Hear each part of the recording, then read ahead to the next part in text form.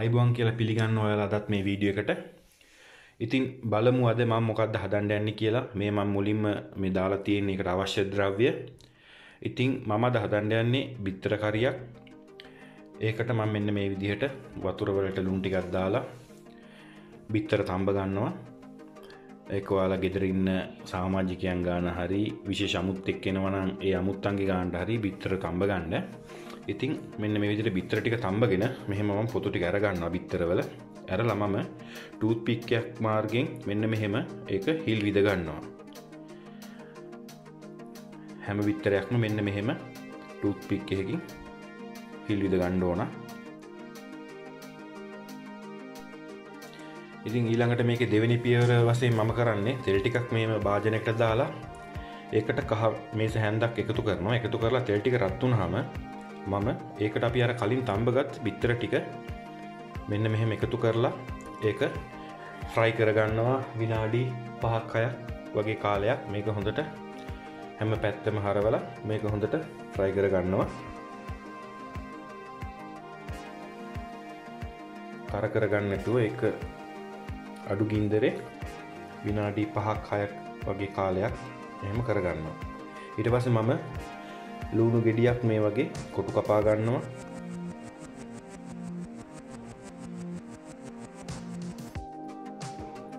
මෙන්න මේ ආකාරයට කොටු කපාගෙන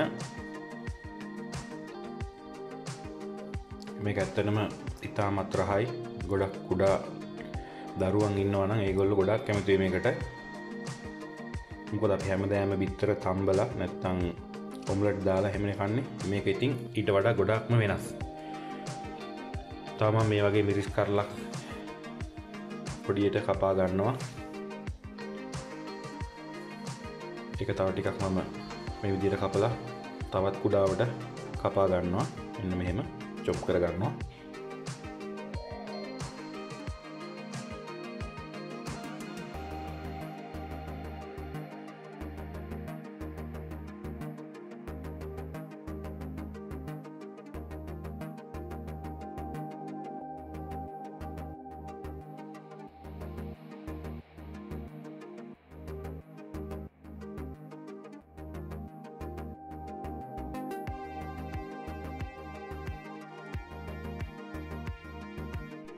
ඊළඟට ම මේ වගේ භාජනයක් අය ලිපට තියලා එකට තෙල් ටිකක් එකතු කර ගන්නවා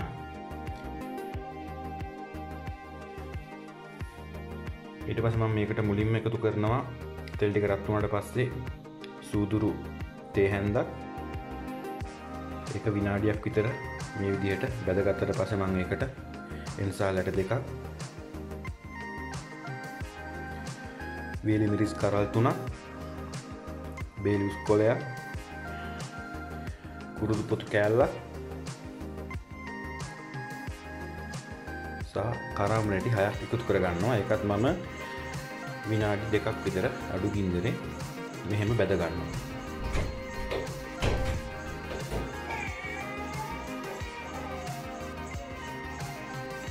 ඉලාට මම එකතු කරන මේකට අපි අර කලින් කපාගත්ත ලූුණු ගෙඩිය. ඒකත් විනාඩි දෙකක් විතර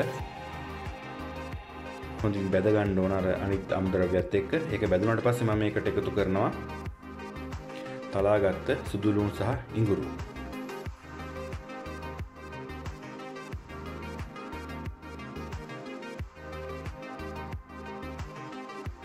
විදියට ඒකත් හොඳින් කලවන් කරලා එකත් බැද ගන්න ඕන. කර කරගන්න නැතිව.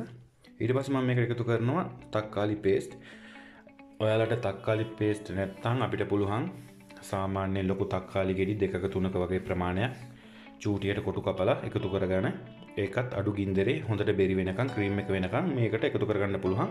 තක්කාලි ඒ වගේම රහයි. ඊළඟට මම අර පොඩිට කපා ගත්තාම මිරිස් කරලා එකතු කරනවා.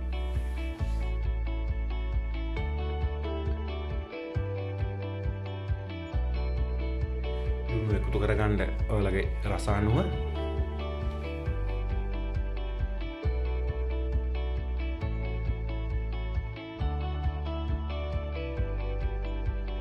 එමං එකතු කරන්නේ මේ සෑන්දක් එකතු කරගත්තා කොත්ත මල්ලි මම වංගඩිය කොටලා ඒවගේම මිරිස්කුඩු. මිරිස්කුඩ් නම්ම ගෙදර කොට පන මේ ගත්තේවා එතට මම මෙතන එකතු කරන ඊට පස්සේ උණු වතුර කෝප්ප භාගයක ප්‍රමාණයක්. ඒකත් එකතු කරලා මම මේක විනාඩි පහක් කාලයක් මේක හොඳට කුක් කර ගන්නවා ඊට පසම අන්තිමට මේකට එකතු කරනවා මසාල පවුඩ මසාල පවුඩර් තේ හැන්දක් මං එකතුවර ගත්තා එම එකතුවරගෙන ඊට පසම මන්තිමට අපි අර කලින් ෆ්‍රයි කරගත්ත බිත්තරට එකතු කරලා මේක හොඳින් කලවං කරලා විනාඩි දහයක් විතර පියන වහලා මේක අපි ලිපේ තියාගන්න ඕන අඩු ගින්දරේ.